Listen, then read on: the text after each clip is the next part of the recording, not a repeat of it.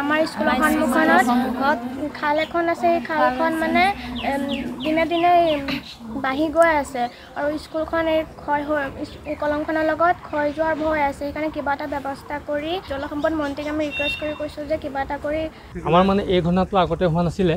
দুহেজাৰ সোতৰ চনত যেতিয়া বানপানী হৈছিলে কলিয়াবৰ যেতিয়া বানপানী হৈছিলে বানপানীৰ পিছৰ পৰা আমাৰ এই বিদ্যালয়খনৰ অৱস্থা মানে বেৰ দুৱাৰ পৰা আদি কৰি সকলোখিনি ক্ষয় ক্ষতি হ'লেই। তাৰ ব্যৱস্থা আমি চৰকাৰক কৈছিলোঁ চৰকাৰে আজিলৈকে আমাৰ সেইটো ব্যৱস্থা কৰি নিদিলে। তথাপিও তাৰপিছতো এই যেতিয়া কলং আমাক খান্দিবলৈ যেতিয়া ল'লে চৰকাৰৰ ফালৰ পৰা কলং খন্দাৰ পিছত আমাৰ চাৰিওকাষত মানে গছ গছনি ধেৰ আছিলে। এই গছ গছনিবিলাক যেতিয়া কাটি দিলে কাটি দিয়াৰ পিছত এই আমাৰ স্কুলৰ ফাললৈ এইটো ক্ৰমান্বয়ে মানে যিটো খাল দেখিছে এইটো ক্ৰমান্বয়ে মানে বাঢ়ি আহিল। এতিয়া বাঢ়ি অহাৰ ফলত আমাৰ কি হৈছে এতিয়া ল'ৰা ছোৱালী এতিয়া বাৰিষাৰ দিন এতিয়া বাৰিষাটো তাত পানী সোমাব নিশ্চয়। আৰু তাত ওচৰ পাজৰ সৰু সুৰা ল'ৰা ছোৱালী এতিয়া আমাৰ ইয়াত ছিক্সৰ পৰা ক্লাছ টেনলৈকে আছে। এতিয়া ডাঙৰখিনিও বুজি পালে সৰুখিনি যি বিশেষকৈ ছিক্সৰ পৰা এইটলৈ এই ল'ৰা ছোৱালীখিনিতো কোন আৰু তেওঁলোক কিছুমান ধৰি লওক দূৰৰ পৰা আহে আহি এতিয়া পানী দুনি থাকে তাতে যদি কিবা এটা ঘটনা ঘটি থাকে আমিও গম নাপাম।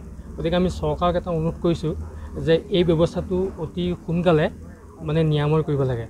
তথাপিও আমি জলসম্পদ বিভাগলৈ আমাৰ ফালৰ পৰা ইয়াৰ বিষয়ে এপ্লিকেশ্যন দি জনোৱা হৈছে আমাৰ কমিটিৰ ফালৰ পৰা। কিন্তু বৰ্তমানলৈকে তেওঁলোকে ইয়াৰ প্ৰতি বৰ্তমান আমি সঁহাৰি জনোৱা নাই। আৰু তেওঁলোকে যদি কিবা আছে আমি গম পোৱা নাই আৰু। আৰু আপোনালোকে দেখিছে ক্ৰমান্বয়ে বস্তুটো আগলৈ আগবাঢ়ি আহিছে স্কুলখনৰ ফালে আগবাঢ়ি আহি আছে। আৰু এনেকৈ যদি হৈ থাকে আমাৰ স্কুললৈকে মাছ পাবহি। আৰু তেতিয়া আমাৰ স্কুলৰ পৰিৱেশটো বিনষ্ট হোৱাৰ লগে লগে বিশেষকৈ মানে ছাত্ৰ ছাত্ৰীসকল আৰু স্কুলখনৰ প্ৰতি মানে মানে এটা ভাবুকি অহা যেন অনুভৱ হৈছে। আমাৰ স্কুলৰ সন্মুখত খাল এখন আছে সেই খালখন মানে দিনে দিনে বাঢ়ি গৈ আছে।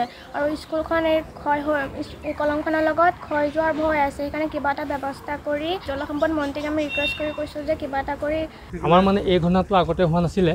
দুহেজাৰ সোতৰ চনত যেতিয়া বানপানী হৈছিলে কলিয়াবৰ যেতিয়া বানপানী হৈছিলে বানপানীৰ পিছৰ পৰা আমাৰ এই বিদ্যালয়খনৰ অৱস্থা মানে বেৰ দুৱাৰ পৰা আদি কৰি সকলোখিনি ক্ষয় ক্ষতি হ'লেই তাৰ ব্যৱস্থা আমি চৰকাৰক কৈছিলোঁ চৰকাৰে আজিলৈকে আমাৰ সেইটো ব্যৱস্থা কৰি নিদিলে।